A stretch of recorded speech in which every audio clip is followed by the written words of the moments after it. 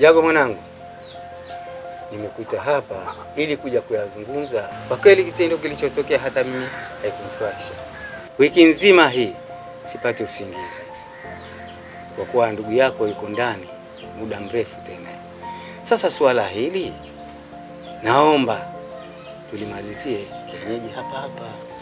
Baba, mimi sijakupinga hata siku moja amri yako, lakini kwa hili ambalo limefanywa, lazima sheria ichukue mkondo wake. Sawa, nimekusikia, lakini naomba ulifikirie hili swala, kwa kuwa wewe ni mwanangu na yeye ni mwanangu na aliofanyiwa ni mjukuu wangu.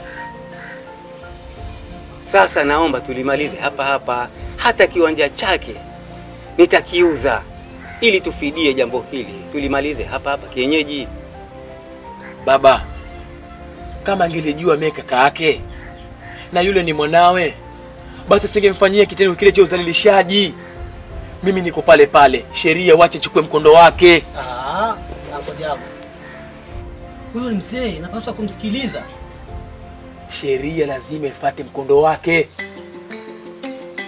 Ewe mwananchi, ni jukumu la kila mmoja kupinga vitendo vya udhalilishaji na ubakaji ili kuboresha ustawi na maisha bora katika jamii. Vitendo vya kuwa na muhali havifai katika jamii. Ujumbe huu umeletwa kwenu na Jumuiya ya Wauguzi Zanzibar kwa ufadhili wa Foundation for Civil Society.